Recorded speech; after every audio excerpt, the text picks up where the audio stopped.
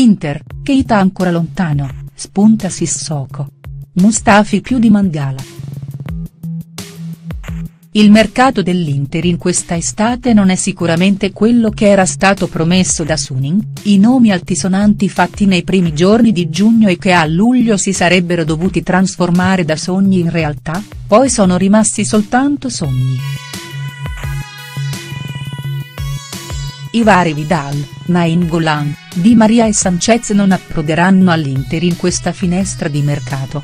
Ma quindi l'Inter ha intrapreso un'altra campagna acquisti fallimentare? Assolutamente no, anzi. In primis l'acquisto più importante è stato fatto in panchina, l'arrivo di Luciano Spalletti ha smosso gli equilibri e la mentalità di una squadra che nell'ultimo anno è sembrata slegata e senza una vera idea di gioco da imporre sul campo. L'allenatore toscano, un uomo con le idee chiare e con un carattere molto forte, sembra già aver cambiato tanto. Lo dimostrano i sei punti conquistati prima contro la Fiorentina, poi contro un avversario forte con la Roma, per di più in casa dei giallorossi.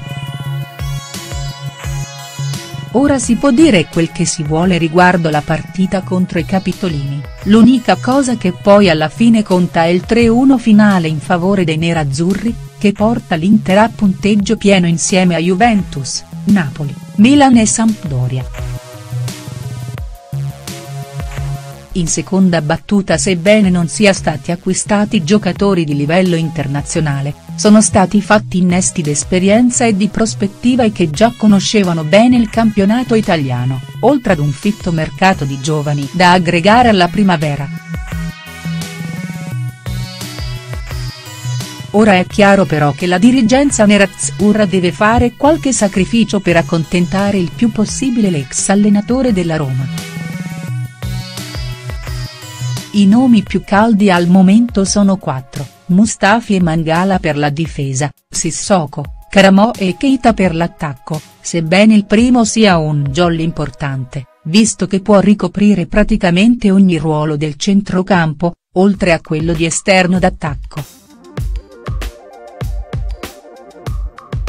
Sfumato ormai Schick che in giornata dovrebbe arrivare a Fiumicino per chiudere con la Roma, in un affare dal costo totale di 42 milioni di euro più bonus sulla rivendita in favore della Sampdoria meno l'Inter ha virato nuovamente su Keita della Lazio, separato in casa e destinato a partire in questa finestra di mercato.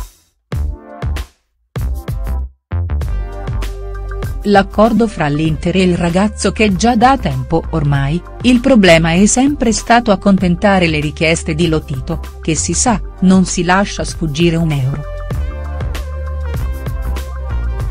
Il patron biancoceleste richiede 30 milioni, cifra che l'Inter al momento non è disposta a sborsare, difatti lo stesso Iglitare ha ammesso che per ora l'operazione non è ipotizzabile per la forte distanza fra le due società.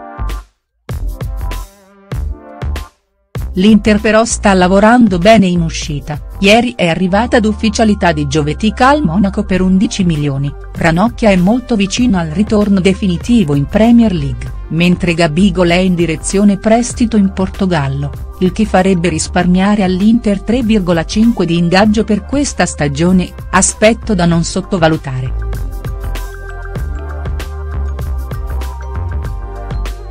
Caramò potrebbe essere chiuso a prescindere dall'arrivo o meno di Keita a Milano.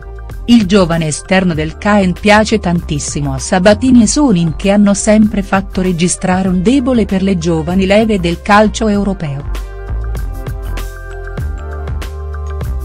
L'operazione si può chiudere fra gli 8 e i 10 milioni visto che il ragazzo è in scadenza di contratto ed ha fatto capire chiaramente di volere solo l'Inter.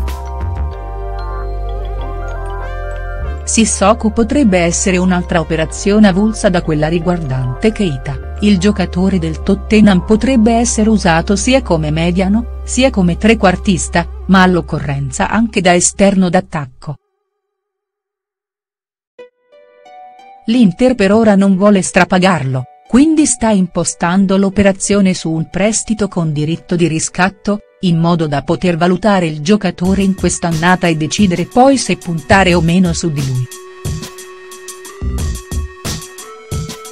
Moussa Sissoko con la maglia del Tottenham Football 365. Com. Controversa la questione riguardante il difensore centrale. Mangala sembrava essere la prima scelta e l'attrattiva essere ormai chiusa con un prestito con obbligo di riscatto a 30 milioni per il centrale difensivo francese di proprietà del Manchester City, ma che la scorsa stagione ha giocato a Valencia, tornando alle prestazioni mostrate in Portogallo al Porto, le quali avevano convinto i Citizens a sborsare un'ingente somma di sterline per arrivare a lui. Adesso a Manchester è chiuso dalla forte concorrenza in difesa e la destinazione Inter gli è molto gradita. Negli ultimi giorni però è stato sorpassato da un altro giocatore al momento in Premier League, anche lui con un passato al Valencia, ovvero Shkodran Mostafi. Spalletti lo preferisce vista la sua esperienza alla Sampdoria, squadra nella quale è effettivamente esploso. Inoltre il tedesco è un anno più giovane rispetto al francese.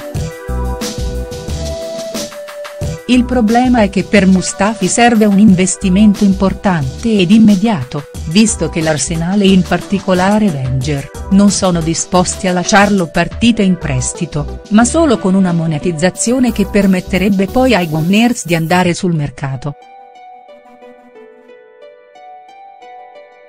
Infine, per concludere il discorso riguardante i movimenti di mercato dell'Inter, si registra un'operazione possibile in sinergia con il Genoa?. Dopo l'affare saltato per Emanuel Cecchini, che sarebbe dovuto essere acquistato dall'Inter e girato in prestito al Grifone, ma è finito al Malaga, le due società adesso ci provano per il centrale difensivo Agustin Rogel, 19enne del Nacional, titolare nell'Uventi uruguayana.